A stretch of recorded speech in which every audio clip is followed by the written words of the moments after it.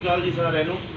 ਮੈਂ ਕੁਲਦੀਪ ਸਿੰਘ ਤੇ ਮੈਂ ਕਿਊਐਲਸੀ ਸੀ ਬਤੌਰਨ ਦੀਦੀ ਨੂੰ ਦੇ ਕੇ ਗਏ ਸੀ ਮੇਰੇ ਦੋਸਤ ਦੇ ਸਿਸਟਰ ਜੀ। ਹੈ ਅੱਜ ਤੋਂ 20 ਦਿਨ ਪਹਿਲਾਂ ਮੇਰੇ ਦੋਸਤ ਨੇ ਕਿਹਾ ਸੀ, ਦੀਦੀ ਨੂੰ ਕੁਝ ਪ੍ਰੋਬਲਮਾਂ ਨੇ ਤੇ ਉਹਨਾਂ ਕੋਲੇ ਪ੍ਰੋਡਕਟ ਪਹੁੰਚਦਾ ਕਰਿਓ।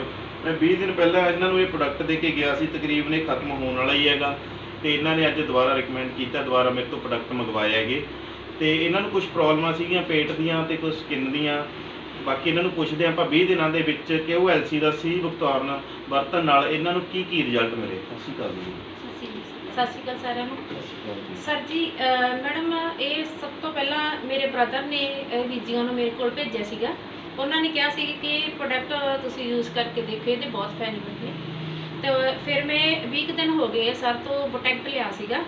ਇਹਦੇ ਵਿੱਚ ਪੇਟ ਦੀ ਮੈਨੂੰ ਬਹੁਤ ਪ੍ਰੋਬਲਮ ਸੀ ਮੇਰਾ ਪੇਟ ਭਾਰਾ ਭਾਰਾ ਰਹਿੰਦਾ ਸੀਗਾ। ਪਤਲੇ ਹੋਣ ਦੇ ਬਾਵਜੂਦ ਵੀ ਮੇਰੇ ਕੋਲੋਂ ਪੈਰਾ ਭਾਰ ਨਹੀਂ ਬੈਠਿਆ ਜਾ ਰਿਹਾ ਸੀਗਾ। ਇੱਕ ਮੇਰੇ ਚਿਹਰੇ ਤੇ ਬਹੁਤ ਜ਼ਿਆਦਾ ਕਾਲਾਪਨ ਮੰਨ ਕੇ ਚੱਲੋ ਸਾਈਆਂ ਸੀ ਬਹੁਤ ਜ਼ਿਆਦਾ। ਤੇ ਇਹ ਸੀਗ ਬਖਤੌਰ ਯੂਜ਼ ਕਰਨ ਨਾਲ ਮੈਨੂੰ ਬਹੁਤ ਫਾਇਦਾ ਹੋਇਆ। ਤੇ ਇਹਦੇ ਮੈਨੂੰ ਬਹੁਤ ਵਧੀਆ ਰਿਜ਼ਲਟ ਮਿਲੇ ਆ। ਤੇ ਅੱਗੇ ਤੁਸੀਂ ਕੀ ਰეკਮੈਂਡ ਕਰੋਗੇ ਵੀ ਸੀਗ ਬਖਤੌਰ ਨਾਲ ਅੱਗੇ ਰეკਮੈਂਡ ਮਾਰਕੀਟ ਦੇ ਵਿੱਚ। ਹਾਂਜੀ ਸਰ ਮੈਂ ਇਹੀ ਕਹੂੰਗੀ ਕਿ ਇਹ ਪ੍ਰੋਡਕਟ ਸਾਰਿਆਂ ਨੂੰ ਯੂਜ਼ ਕਰਨਾ ਚਾਹੀਦਾ। ਇਹਦੇ ਬਹੁਤ ਬੈਨੀਫਿਟ ਨੇ।